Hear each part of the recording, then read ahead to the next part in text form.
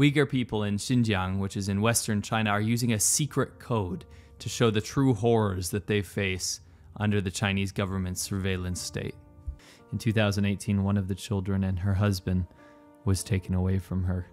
And in 2021, the emoji with the sunglasses symbolizes a Communist Party official that was assigned to take her husband and child's place, to live with and monitor the woman and her child. You probably know about the genocide in western China at this point.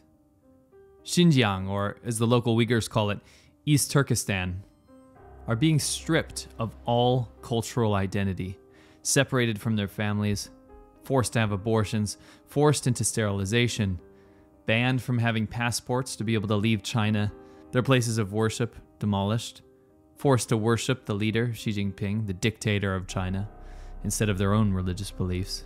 They're forced to live with Han Chinese people, which is the majority ethnic group in China, because the Chinese government thinks that Uyghur people are less cultured or refined and need to be corrected by the Han Chinese majority.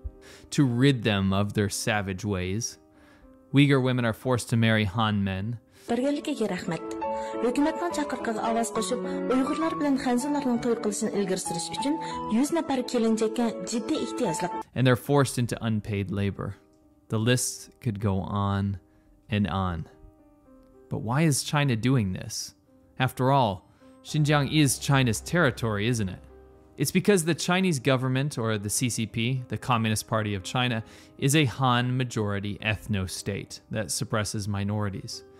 Don't get confused with American identity politics. We're talking about a country that is over 90% of one ethnic group, and what they say goes. They can try to pretend like there's 56 dancing, happy ethnic minorities, but in fact, they're nothing more than a novelty for Han Chinese entertainment. China likes to keep up a facade of naming certain provinces autonomous regions, but what that actually means is that those regions are in fact so not autonomous that they're under twice as much, if not more, surveillance than a normal Han population province. You see, the Chinese government doesn't like when cultures are different to the majority Han culture. So they oppress different people groups with the utmost brutality. It truly baffles me that people that adhere to principles of socialism or look at China as a shining example of a beacon of socialism would actually celebrate China's treatment of minorities. If you're the kind of person who believes in equality for everyone, you shouldn't look at China as the example of a successful country. It's a racist, brutal ethno state. The Uyghur people in Western China happen to be the most different from what you'd consider a normal Chinese person. What, with their own culture, language, and religion. So China feels the need to restrain them in every way possible. It's a modern day genocide in 2021, and China's getting away with it. China has the tightest control over this area of the country than any place in the entire world. It's very similar to North Korean surveillance, but with much more money and much more technology. We don't have the thousands of refugees that we see from other countries because China is not Syria. It can keep people's mouths shut, monitor them, and keep them inside of the borders of China, and then carouse them into concentration camps if there's any suspicion of them breaking the rules. And what are the rules? Pretty much just existing. Yes, there's tribunals. Yes, it's in the media. But what can we actually do to stop China?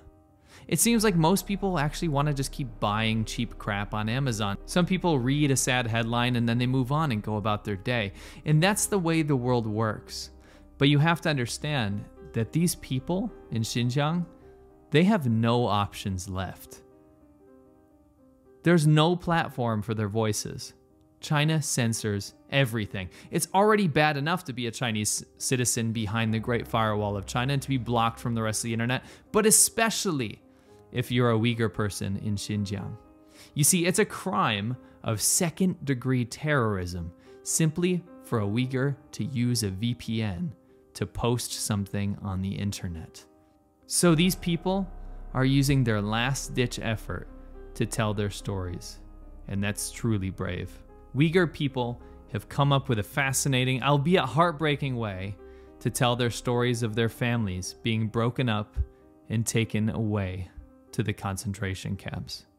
They can't use their voice or video to post anything that tells the truth about what happens, as they will be imprisoned, disappeared, or worse. So they've resorted to using cryptic emojis that tell the timeline of when their wives, husbands, and most disturbing, their children have been taken away from them. Let this be a tiny glimpse into what Amnesty calls a dystopian hellscape in Xinjiang.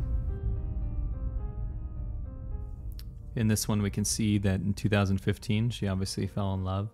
2016, they had their first child, and then from 2017 to 2021, that man is no longer in the picture.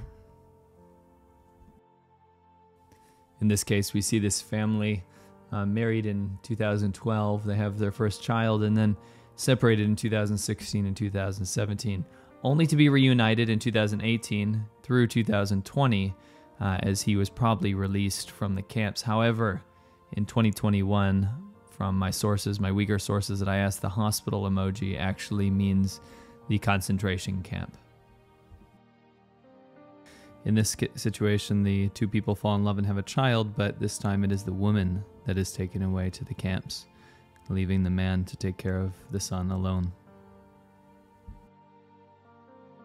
You can see the progression of the tragedies here fall in love, have a happy family from 2016 to 2018, and then each year 2019, 2020, 2021 she's alone with her daughter.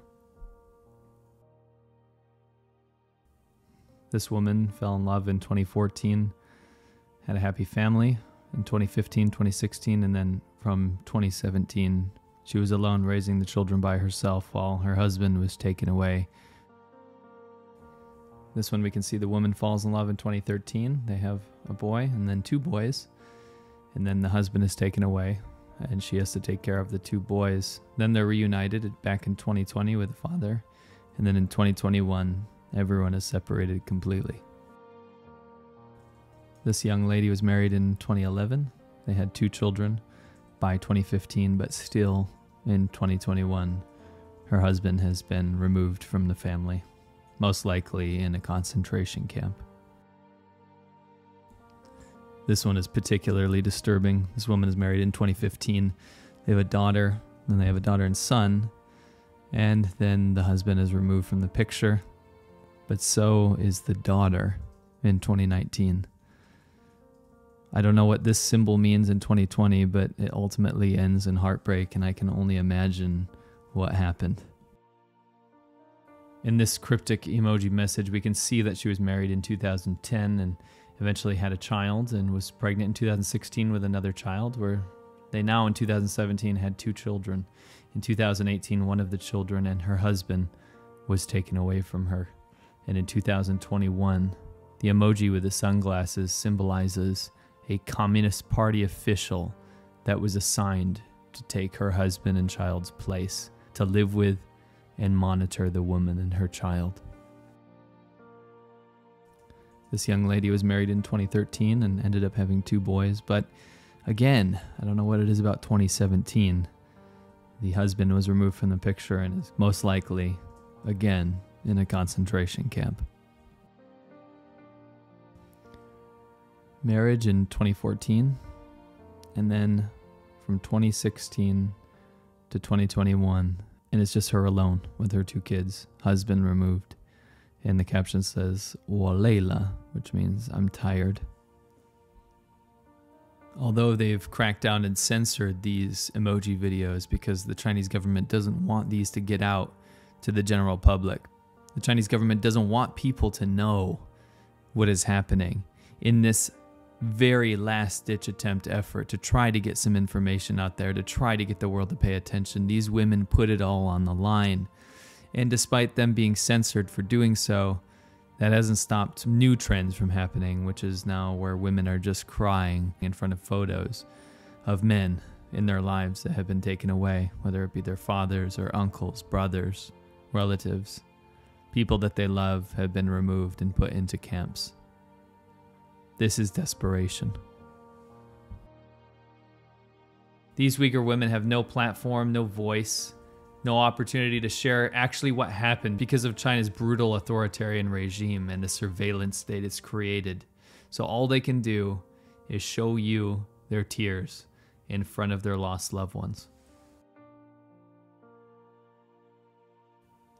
It's absolutely heartbreaking to see these kind of messages in a bottle, so to speak, going out there only to fall mostly on deaf ears. It's the least we can do to try to spread their message and give them a little bit of hope that maybe at some point things will get better and the Chinese government will be brought to justice. I know it's hard to care about something so far away, but just imagine if your family was taken from you because of a maniacal dictator hell bent on ultimate control and power. How would you feel?